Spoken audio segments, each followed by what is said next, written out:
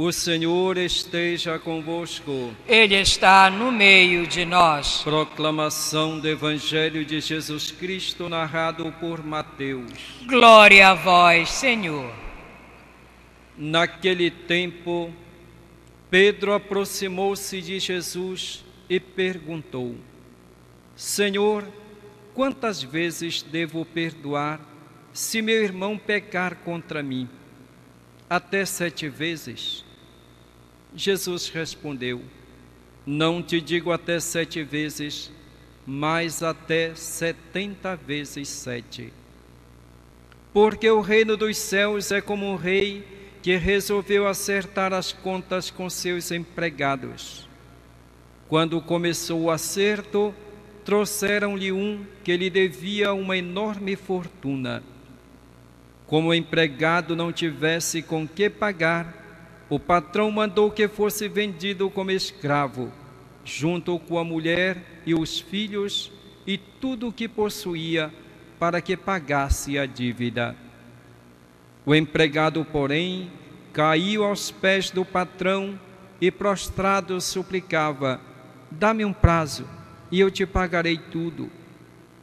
Diante disso, o patrão teve compaixão, soltou o empregado e perdoou-lhe a dívida.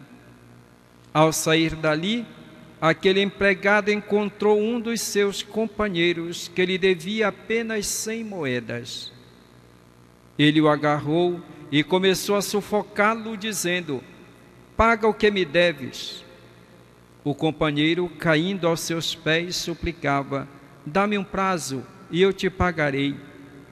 Mas o empregado não quis saber disso saiu e mandou jogá-lo na prisão até que pagasse tudo o que devia. Vendo o que havia acontecido, os outros empregados ficaram muito tristes. Procuraram o patrão e lhe contaram tudo. Então o patrão mandou chamá-lo e lhe disse: Empregado perverso, eu te perdoei toda a tua dívida, porque tu me suplicaste. Não devias tu também ter compaixão do teu companheiro, como eu tive compaixão de ti? O patrão indignou-se e mandou entregar aquele empregado aos torturadores, até que pagasse toda a sua dívida. É assim que meu Pai que está nos céus fará convosco, se cada um não perdoar de coração ao seu irmão. Palavra da salvação. Glória a vós, Senhor. Que as palavras do Santo Evangelho perdoem os nossos pecados. Amém. Nesta caminhada que estamos fazendo para a celebração da Páscoa, somos convidados, logo no início da Quaresma, a praticarmos a esmola, o jejum, a penitência, a oração. E hoje, na primeira leitura que nós ouvimos, temos o exemplo de uma bonita oração feita por Azarias. Azarias está no meio do fogo, portanto, uma situação de perigo, de risco, situação de morte, de opressão. Mas Azarias não se desespera. Ele não pede vingança para aqueles que o condenaram. Ele não desafia a Deus, mas dirige a Deus uma súplica confiante, pedindo ao Deus dos seus pais, o Deus da aliança que olhe para aquela situação naquele momento, que tenha compaixão e reconhece os seus pecados e o pecado do seu povo. Reconhece que muitas vezes falharam e foram infiéis a Deus, e que Deus na sua bondade, tenha compaixão, tenha misericórdia dele e do seu povo. É uma oração, portanto, que reconhece a Deus como aquele que tem todo o poder, é ao mesmo tempo um Deus bom e misericordioso que tem compaixão dos seus servos. Ele é um Deus que acolhe a súplica dos humildes, dos necessitados. Portanto, é um exemplo para nós, quando nós nos encontramos numa situação difícil, de dificuldade, de provação, de doença e qualquer tipo de provação, de não perdermos a confiança em Deus, porque Deus é Pai. Nós somos pecadores e Ele nos dá aquilo que nós necessitamos, não porque nós somos santos, não porque nós somos bons, mas porque Ele é Pai e olha para nós com misericórdia, com amor. E é isso que faz com que Azarias confie em Deus, porque Ele é misericordioso. Não nos trata conforme as nossas obras, porque se Ele nos tratasse conforme as nossas obras, nós receberíamos castigo da parte de Deus, mas Ele nos trata como filhos, por isso usa sempre de misericórdia. E é com esta humildade que nós devemos então nos dirigir ao Pai do céu, na certeza de que Ele virá sempre em nosso socorro. Tempo de quaresma é tempo de conversão, é tempo de nos reconciliarmos com Deus e com os nossos irmãos. E Jesus nos conta hoje uma parábola para nos falar sobre a necessidade do perdão. Pedro se dirige a Jesus, perguntando quantas vezes se deve perdoar. Até sete vezes.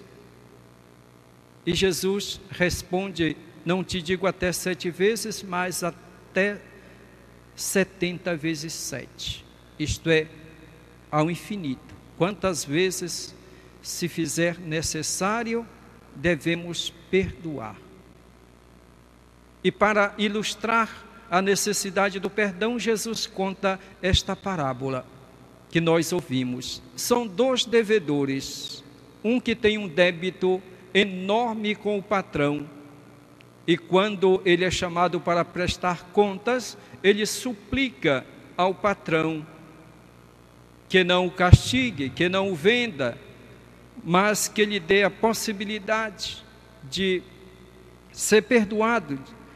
E o patrão, então, tem compaixão dele e não cobra a sua dívida, mas deixa que ele vá em paz. O segundo devedor deve justamente àquele que foi perdoado pelo patrão. E o seu débito, o débito daquele segundo, em relação ao primeiro, era muito pequeno.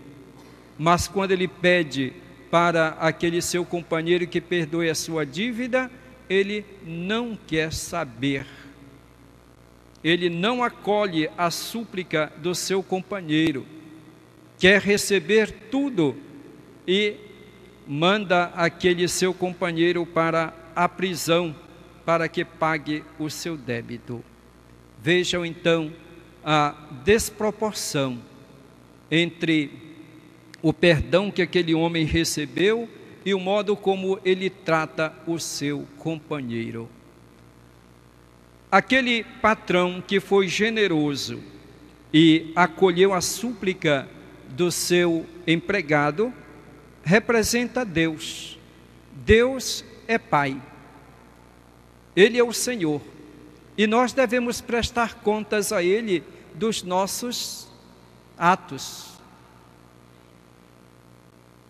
E todos nós devemos ter consciência de que nós pecamos muitas vezes que nós somos sempre devedores para com Deus, que tantas vezes nós somos infiéis, quantas vezes nós não obedecemos a Deus e fazemos tudo ao contrário daquilo que Ele pede para nós. Será que nós vivemos realmente os mandamentos que Deus nos deixou, se nós formos fazer o exame de consciência, à luz da palavra de Deus, à luz dos dez mandamentos, nós vamos nos dar conta de quanto nós falhamos, quanto nós estamos distantes de viver realmente a palavra de Deus. Somos infiéis tantas vezes. E Deus o que faz conosco? Se nós, com humildade, se nós, com sinceridade, pedimos perdão a Deus, se nós suplicamos, Ele nos dá o seu perdão, Ele nos dá a sua graça, porque Ele é Pai.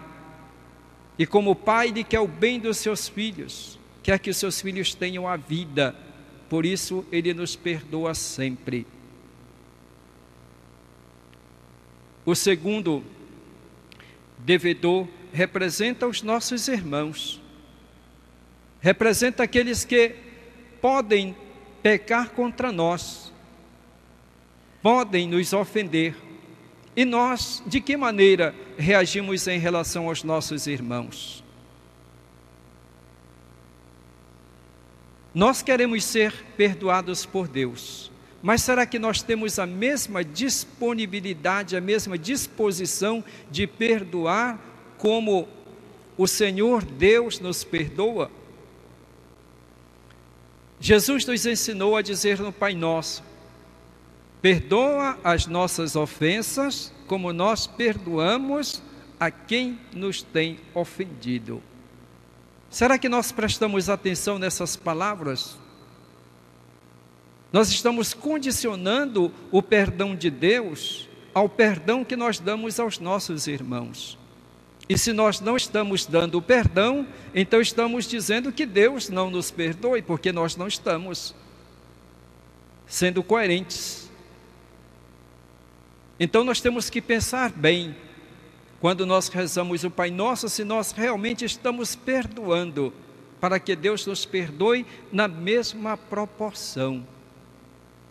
Porque Jesus nos diz: é assim que o Pai que está nos céus fará convosco, se cada um não perdoar de coração ao seu irmão. Para ilustrar ainda mais esta, este fato, esta necessidade do perdão, conto uma pequena historinha. Conta-se que o homem estava no purgatório há muito tempo e pedia a Deus, suplicava a Deus que eu tirasse daquele lugar. Até um dia Deus decidiu: tá bom, eu vou dar um jeito, eu vou mandar descer daqui do céu uma corda, e tu vais subir por essa corda para o céu.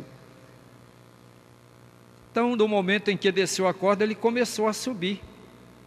De repente, ele olha para baixo e vê que estão outros aproveitando e subindo também com ele.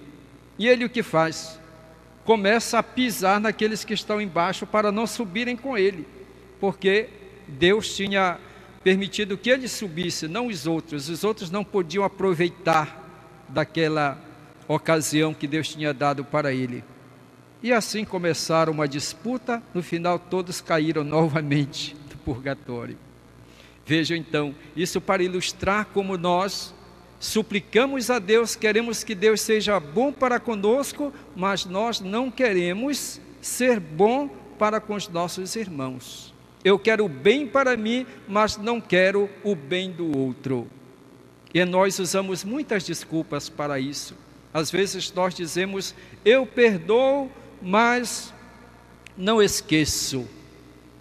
É uma desculpa que a gente está dando.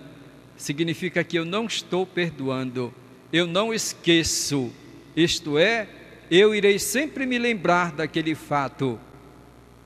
Perdoar não é esquecer, porque se alguém fez algo contra mim que me marcou profundamente, eu vou sempre me lembrar daquele fato. É o modo como eu irei interpretar e viver aquela situação.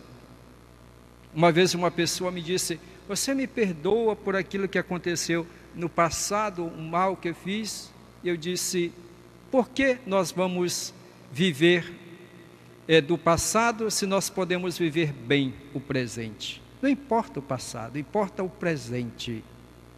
o presente. Vamos viver bem o presente. Não vamos guardar mágoas, ressentimentos. Não vamos guardar coisas negativas que nos faz mal sobre todos os aspectos. Nos faz mal psicologicamente, nos faz mal emocionalmente, até fisicamente nos faz mal. E sobretudo espiritualmente.